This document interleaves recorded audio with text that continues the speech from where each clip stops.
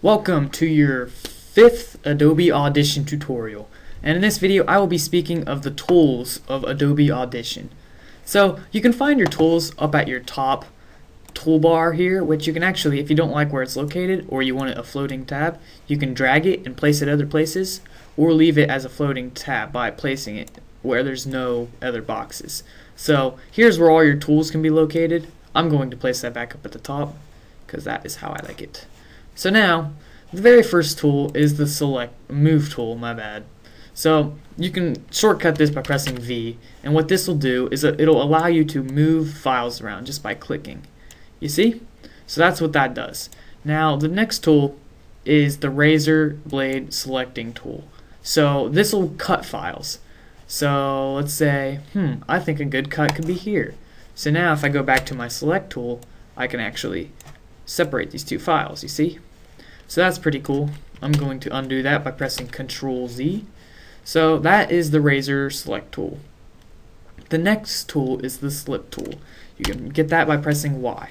What this will do, this will allow you to easily shorten and lengthen certain files. So I have a file here and when I I can go hover over the left and right to shrink it or lengthen it as you can see but I can also drag what part of the file is being played. So for example I cut out here. Let me get my razor blade tool cut out this much right here and then I drag this down here and I realize hmm I probably should have cut it a little bit earlier. What I can do is get this tool which is the slip tool I need to learn the shortcuts for these and just drag it over a bit.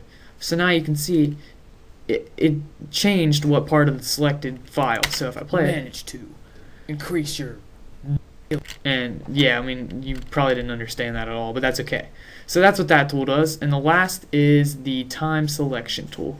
And what this will do is select a specific portion of your um, multi-track. So I can select like this right here, you see? And I can play it by clicking play or pressing space. Of the video maker. I hope I have managed to in your head what about cool stuff. So that that'll play that, and then once you get to the end, it should repeat. Boom, goes back to the beginning.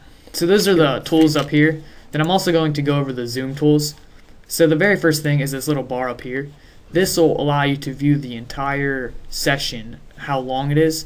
So if I drag a file down here, you can see it moved up here. So I'm going to drag that back and I'm going to teach you some about these zoom tools. So the very first one is you can see that each one of these you can actually resize them by dragging along these black bars. Not here, it won't work here, it has to be here.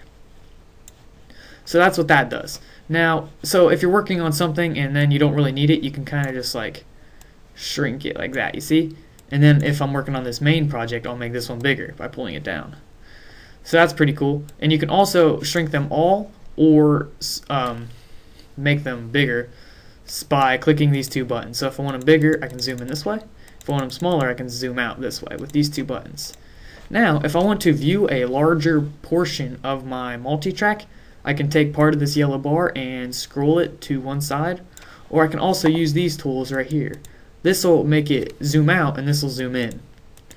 So if I need to zoom in very close to see my individual this is like each of the 44,100 is one of these dots represents one of those 44,000. So that's pretty cool. So I'm going to zoom back out. And actually, the next tool, this will zoom out for you to see the whole area. So bam, that's everything I have. That's cool. So now when I have a selection, let's say I select this, the next tool will uh, manipulate this by, if I want to zoom in in the start, I can use this tool which uh, I haven't even been saying the names. Zoom in at endpoint. I just like to call it the tool that start zooms into the start point because that's easier to remember. Or I can zoom into the endpoint. So if I swap, this is the endpoint, this is the start point. So if I zoom out, oops, wrong button. You can see my entire thing. So if I zoom into the start point, it goes this way. But if I zoom into the endpoint, it goes this way. And then this way. This way. This way, this way, this way, this way, this way, this way, this way. Ah! So this, this, uh, the last tool, Zoom to Selection, will actually take my selected part and blow it up to take up the whole screen. So bam. This this is all I had selected. So as you can see if I zoom out, it'll show you the rest of the the file. Now let's click the wrong one. You can also use control and scroll and that will uh, make the entire multi-track zoomed in or zoomed out and you can also hold alt which will increase the size of each track. So yeah that's cool. That's really cool. So yeah in the next video I will be speaking of something probably not as boring.